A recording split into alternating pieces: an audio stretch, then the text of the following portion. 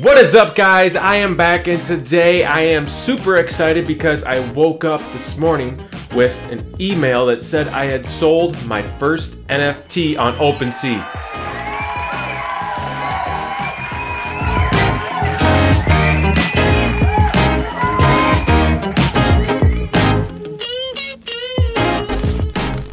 It was an awesome feeling because I rolled out of bed and I had a notification on my phone of my Gmail account and it said I had sold an NFT and I was like blown away because I didn't think it would happen this soon. So I had started making and selling NFTs a little over a month ago and I didn't think it would be this soon since I would get my first sale. It was only 0.03 Ethereum, which right now is about the same as 90, a little over $90. But it's not about making a bunch of money right away. It's about getting that first initial sale. And when I did that on my NFT, I think I only had about seven views at the most on that particular one. So my perception of having to have like hundreds of thousands of views to even make a sale on an NFT was blown out of the water right away. Like my first sale, seven views. Um, what? I didn't think that was possible. But I have a few factors that went into making this first sale. And number one was I went ahead and I got a Twitter account and I promoted and promoted and promoted I dropped and shilled NFTs on there and my collections to other collectors and other accounts and other profiles. And it was exhausting because I felt like I was annoying my followers. But you have to do that. And along the way so far of my first sale, I found a few good accounts, a few good people in the Twitter world. But you have to push yourself, you have to promote, you have to just get yourself out there and you have to help and promote others along the way is something I found out. And one person and one account who is really good at that is at Dancing Freak Show. His name says Robert Goulet. When I'm feeling sad, single tear. simply.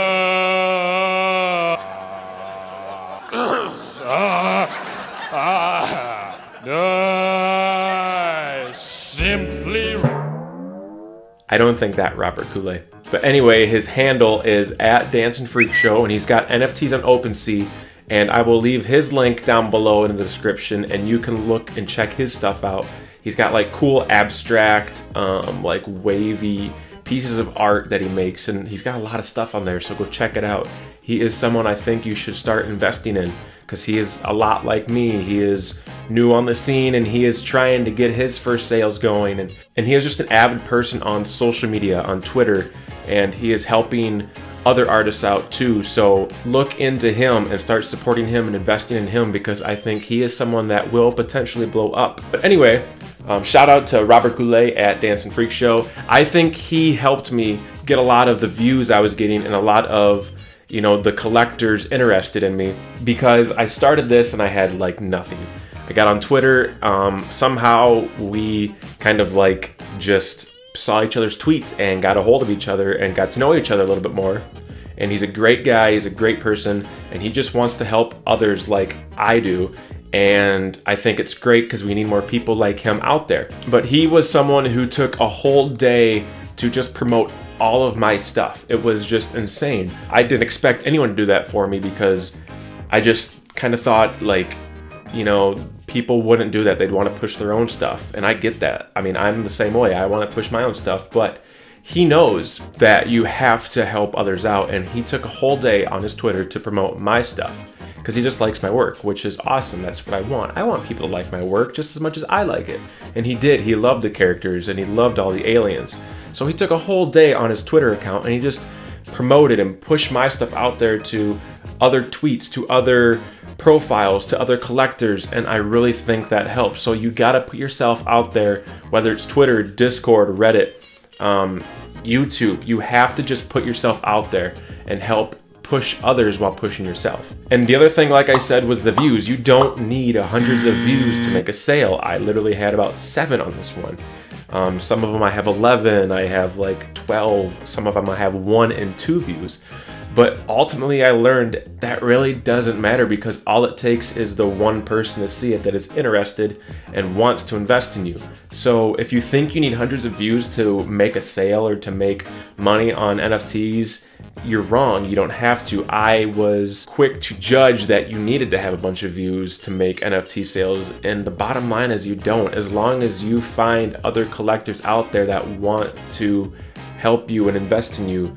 And the other thing I learned while making my first NFT sale was patience. Like I said, I have been doing this a little over a month, maybe two months now, and it's my first sale, and it was for only 0.03 Ethereum.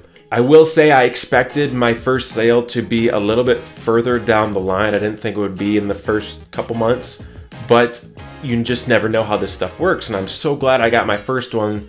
So maybe that will start helping the next ones and the next ones and the next ones. And it's just about getting yourself out there. But in that process, you have to be patient. Um, I was getting into other business ventures and working on other stuff um, while doing this, so I took time away from the NFTs and promoting it to work on other stuff. And maybe it was a little bit of a break that I needed to like just clear my mind and to let the world kind of take its turn at my NFTs. And I really think it helped because I didn't burn myself out of just trying to sell NFTs and just giving up ultimately. You know, it can be a frustrating first two months or you know however long it takes to get your nft sold. But that's the thing about nfts is that it's literally art. Art takes time to make. Art takes time to sell. Art takes time just in general with anything it just takes time, so you have to be patient. Patience is key in this. And one of the other things that came with my first NFT sale was just like that rewarding feeling in yourself, that that sense of like accomplishment that you finally sold something that you worked hard on and and ultimately it's just the beginning of things in the long run. You know this isn't something you're just going to want to do for six months to a year. This is something you got to keep pushing and think about the long term effects that this will have. So you can't be pushed away and you can't be doubtful about yourself and about your nfts if you don't make a sale in the first few months or the first several months or even the first year.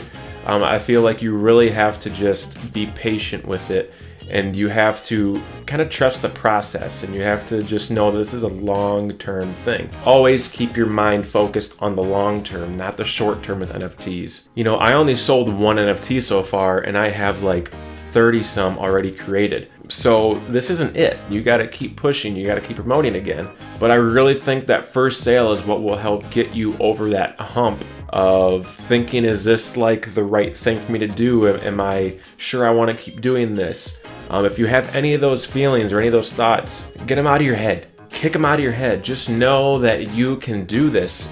All it takes is a few people to believe in you. At Dancing Freak Show, Robert Goulet on Twitter, he believed in me. He liked what he saw. That's just one person in the whole world of NFTs. And I want to leave you with one last thing in this video. And that is if you haven't sold your first NFT yet, don't give up. Keep pushing yourself if you have to take a little break, take a little break. Just don't feel like you have to make sale upon sale upon sale upon sale because you don't.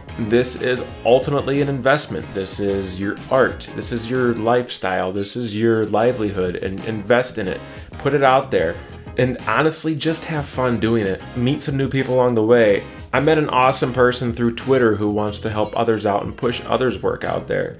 Um, and he's a great person. So find people out there like that and be one of those people as well that will promote others and work with others and wants others to do well and succeed because I promise you in the long run it will help you succeed and it'll make you successful in your NFT sales.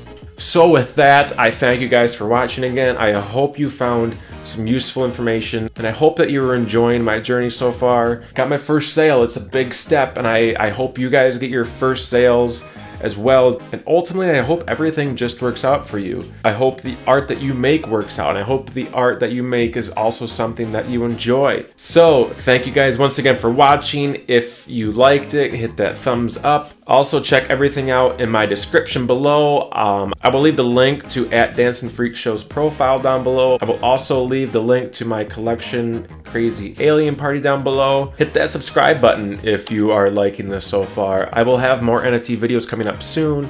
Um, if you haven't checked out my other ones about how to sell NFTs and about the process of doing that, check out my channel and go check those videos out as well. And a shout out to KJ. Um, that user was the person who bought my first NFT. So thank you, KJ. You are a lifesaver. You are awesome.